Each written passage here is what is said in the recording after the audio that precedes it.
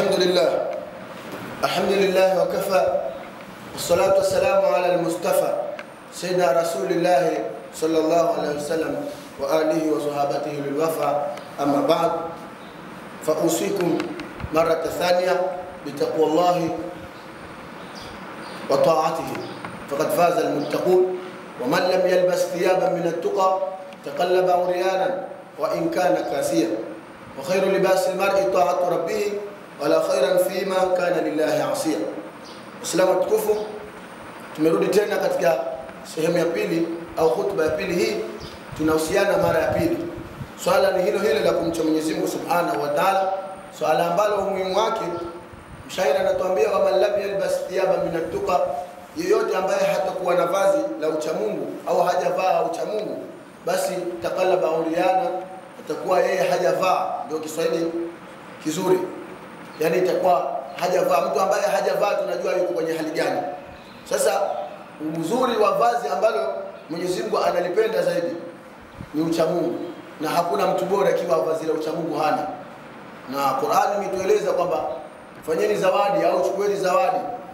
Siku zote msafiri inapendeza ikiwa anasafiri na huko endako ana zawadi amebeba, ima kwenye furushi lake au mfuko wake, lakini wa khairu zadi taqwa fa inna khairu khaira zadi taqwa, zawadi nzuri zaidi ya kubeba ni ucha Mungu. Na ucha Mungu tushafundishwa sisi ni mwezi mtukufu wa Ramadhani. Ucha Mungu tunataraji sote tumekuwa ni wacha Mungu. Waislamu watukufu, kuna kitu nataka kukumbushia, labda tuna ufahamu ambao ni wa kughafilika.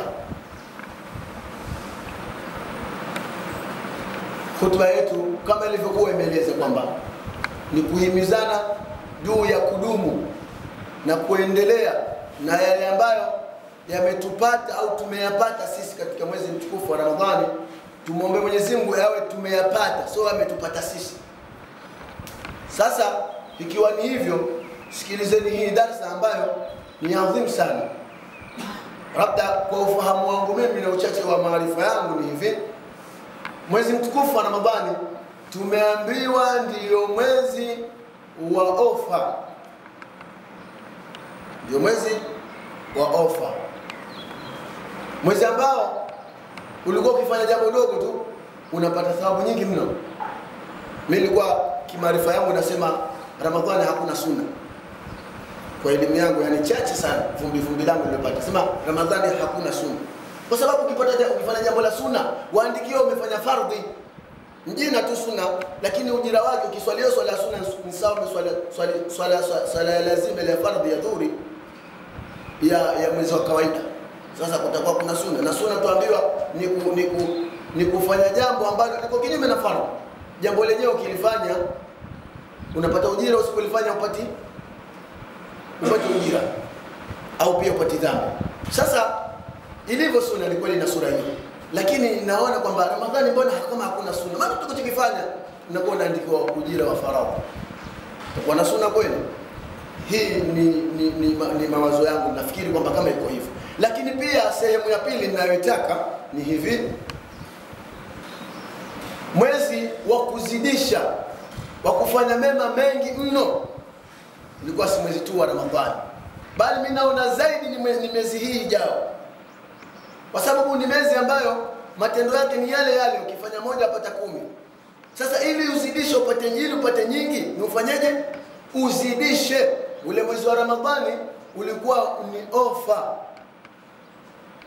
yaani ofa ambayo ni sawa na mtu kununua vocha wakati wakati wa nini, umenunua ile nini ya kuongeza muda wa maongezi ya shilingi mia tano kama kuna ofa kimtandao, ina maana unapata nyingi kwa vocha ya mia tano unapata bando nyingi. Hatuko kwenye kutangaza kutangaza mambo hayo, tunatoa mfano, maana kwenye mifano mtu anaelewa kile unachomweleza.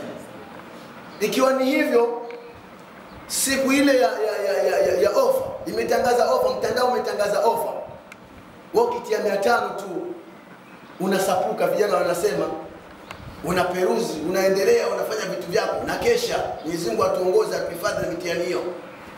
Tukikesha basi Allah atujalie tukeshe kwa ajili ya Mwenyezi Mungu na Mtume sallallahu alaihi wasallam. Sasa mia tano yako wewe unachukua muda mrefu, wengine wanapatiza hatii buku, yeye atia, atia jero, yaani atakuwa kazi yake hatii buku. Maanake jero ambayo mia tano ni Viswahili tusamehani, hii mia tano unapata muda mrefu. Je, ukiwa hakuna ofa watakiwa ufanye nini? Utatia mia tano kweli? Si uki, uki, uki, ukijiunga itakuwa ni balaa tu, yaani makutoa fupi tu pap, salio lishakwisha.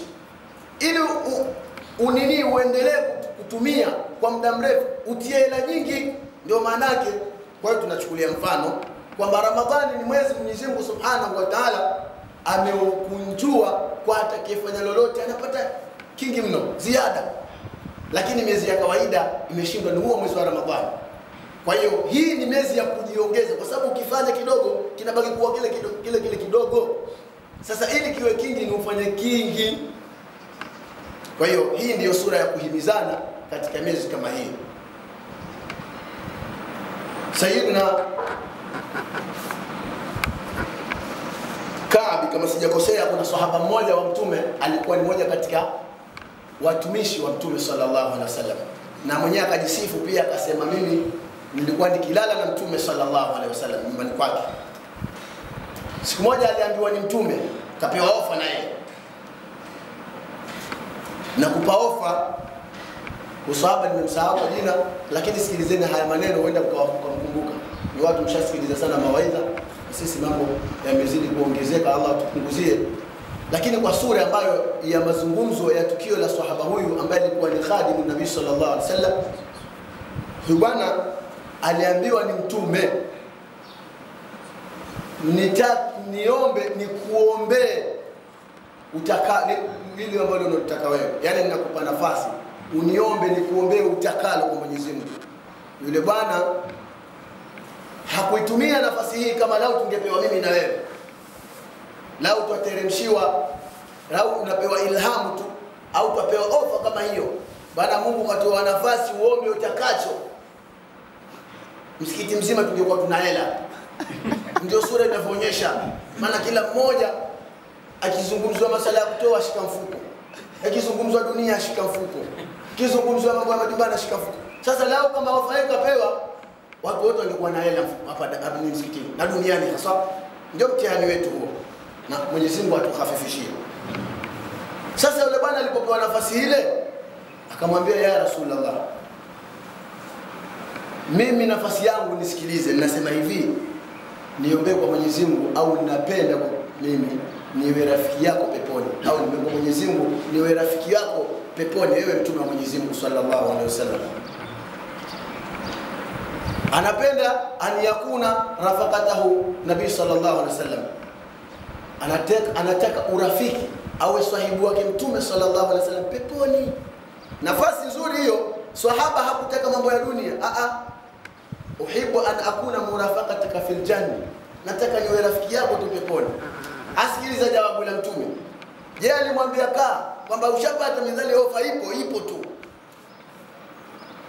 Mtume sallallahu alaihi wasallam akamwambia, basi ukitaka nafasi hiyo tusaidiane, nipe nikupe, nisaidie kusujudu kwa wingi, yani uwe mtu wa kuswali sana, hapo utakuwa na nafasi hiyo, sambamba tutakuwa pamoja peponi faaini an kathrati sujud au kama qala nabii sallallahu alaihi wasallam, basi nisaidia mimi kusujudu mno, hapo utaipata nafasi hiyo vizuri. Sasa kumbe hili jambo ni jambo ambalo sisi tunahitajika zaidi. Tunataka kwa Mwenyezi Mungu hiyo pepo, lakini kumbe tuwe watu wa kusujudu mno. Ikiwa hawa wenzetu pepo ilikuwa wanabashiriwa usoni mbele za Mtume, sisi ambayo tumeona vitabuni, mashekhe wametuambia sisi ndio zaidi huo urafiki wa kwenda peponi na mtume au kwenda peponi na, na, na, na, na waja wema, basi tumuombe Mwenyezi Mungu atuwafikie tuwe wingi watu wa kusujudu, hapo tutaipata nafasi hiyo. Waislamu tukufu, hutuba yetu isiwe refu. Mengi huwa haya yanachosha, na yakiwa mengi huwa yanakuwa tabu kuzingatiwa. Hapa ni sisi turudi moja kwa moja kwenye maudhu alkhutba. hutuba yetu tukumbuke kwamba inazungumzia kwa mukhtasar, kwa muda mfupi na haraka haraka, kutaka kufahamika na hatuna fasaha hiyo kwamba tudumu, tubakie kwenye yale ambayo tumeyapata Ramadhani. Uchamungu wetu wa Ramadhani tuendelee nao, isije kafikia mtu Ramadhani imemalizika na Mungu wake kafunga virago, kapanda ndege, kasafiri, hajulikani kasafiri wapi. Ifikie mahala mtu yule alikuwa amezoea lahu, mambo ya kipuzipuzi, arudi kule kule. Si hivyo tu, mtu kama ana, ana, ana vitu vya ajabu ajabu, ana, ana kibanda chake na hawara na vitu Mwenyezi Mungu atunusuru, hatumo katika hawa, lakini tukiwa tuna jamaa zetu tuwatanabahishe kwa hilo, wabakie na watu mazingira haya haya waliowapata Ramadhani. Ramadhani ni mwezi ambao umewatengeneza, umewaponda watu, umewatengeneza watu, umewaweka kwenye mazingira mazuri. Ramadhani ukimwambia mtu lete alfu akupa alfu na mia tano. Ramadhani ukimwambia mtu asome Qur'ani, mtu ana- anakufurahia, yaani umemtanabahisha jambo zuri. Jamani, Qur'ani si ya mwezi wa Ramadhani peke yake, swala za Mtume si Ramadhani peke yake, kusubiriana sima, yani vile vile tulivyotoka mwezi wa Ramadhani tubakie pale pale, lakini pia tusisahau kumwomba Mwenyezi Mungu atubakishe kwenye mazingira yale. Ni mengi ya kuzungumzwa, Mwenyezi Mungu atuafikie haya haya ambayo yanatosha. Allahumma rabbana jammilna bil afiyati wassalam وحققنا بالتقوى والاستقامة وأعيذنا من موجبات الندامة إن الله وملائكته يصلون على النبي يا أيها الذين آمنوا صلوا عليه وسلموا تسليما وارض اللهم عن أصحاب الأربعة عن صحابة الأربعة سيدنا أبو بكر الصديق وعمر بن الخطاب الفاروق وسيدنا عثمان بن عفان وسيدنا علي بن أبي طالب ورضي الله عن بقية أصحاب رسول الله أجمعين. اللهم أعز الإسلام والمسلمين وأذل الشرك والمشركين ودمر أعداءك أعداء الدين واختم لنا بخير منك يا أرحم الراحمين. ربنا اغفر لنا ولإخواننا الذين سبقونا بالإيمان ولا تجعل في قلوبنا غلا للذين آمنوا. ربنا إنك رؤوف رحيم. نسأل الله الكريم رب العرش العظيم أن يغفر لنا ولوالدينا ولوالديهم. ربنا هب لنا من أزواجنا وذرياتنا قرة أعين واجعلنا للمتقين إماما. ربنا تقبل منا إنك أنت السميع العليم. وتب علينا يا مولانا إنك أنت التواب الرحيم.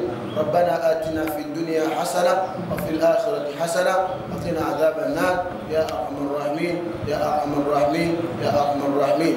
صلى الله على رسول الله سيدنا محمد وعلى آله وبارك وسلم. عباد الله إن الله يأمر بالعدل والإحسان وإيتاء ذي القربى وينهى عن الفحشاء والمنكر والبغي يعظكم لعلكم تذكرون. اذكروا الله العظيم الجليل الكريم يذكركم واشكروه على نعمه يزدكم واسألوه من فضله يعطكم ولذكر الله أكبر وأقم الصلاة.